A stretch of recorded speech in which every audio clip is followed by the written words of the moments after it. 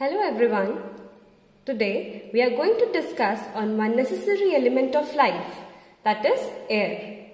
We all know that oxygen is needed for breathing. What else it is needed for? Let's find out.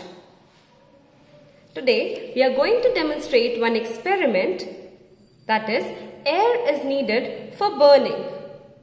Let's start. For this experiment, we'll be requiring one candle, one glass and a matchstick. First, let us try to lighten the candle.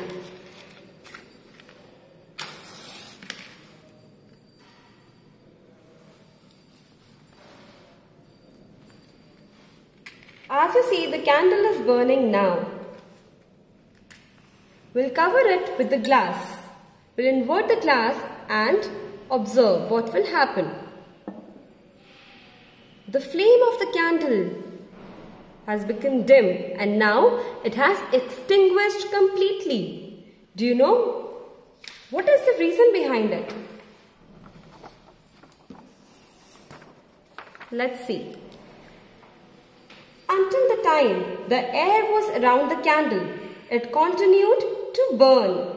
But as it was covered with the glass, the air was blocked completely. The limited oxygen inside the glass made the candle to burn. But as soon as the oxygen got finished, the flame extinguished. So we see how important oxygen is for burning. Thank you.